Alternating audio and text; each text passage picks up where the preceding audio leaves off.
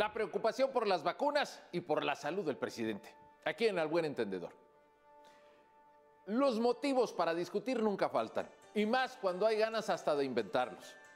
¿Sabe cuál es la discusión dominante hoy en día en el sector público? El tema de si el presidente está o no en Palacio Nacional. Bueno, la señora Olga Sánchez Cordero, secretaria de Gobernación, que debe encabezar en ausencia del presidente durante las dos semanas más o menos en las que esté ausente porque está aislado debido al contagio del COVID, la señora Sánchez Cordero, pues no solamente ha logrado reducir en tiempo la mañanera, sino centrarla en la persona del presidente.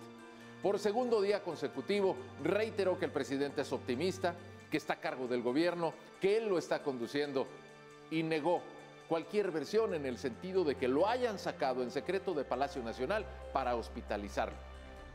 ¿Por qué hay tanta preocupación debido a ese tema? ¿Por qué tantos choques verbales? ¿Qué no sería normal que el presidente requiriera en algún momento hospitalización? ¿Y a quién le sorprendería que eso pasara?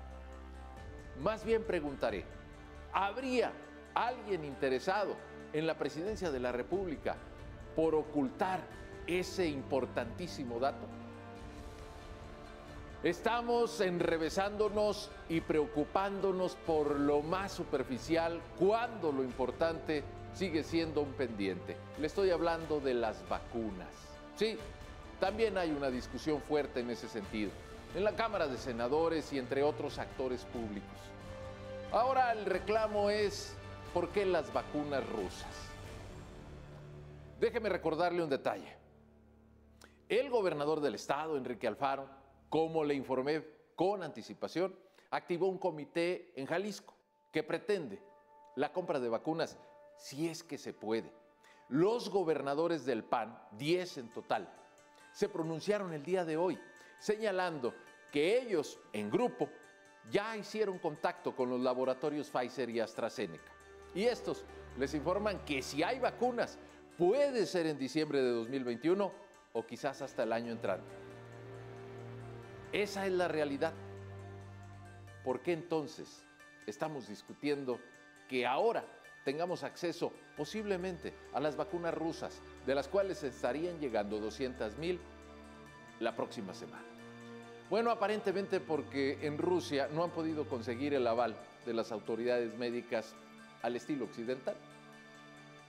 Lo que nos hace falta es tener algo, lo que sea, para atender a la población mexicana. En el tema de las vacunas, y cierro con esto porque hay que recordarlo, no podemos permitir que se nos aplique cualquier cosa. Pero si las autoridades tienen la responsabilidad de garantizar la vacuna, urge que ya empiece a aplicarse. El mes de enero está a punto de terminar y el compromiso presidencial es que en abril de este año nuestros más de 15 millones de adultos mayores ya estarán vacunados. El tema es que no tienen para cuándo empezar.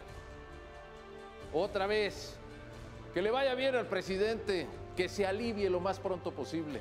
Ya déjenlo, por favor, enfoquémonos en las vacunas.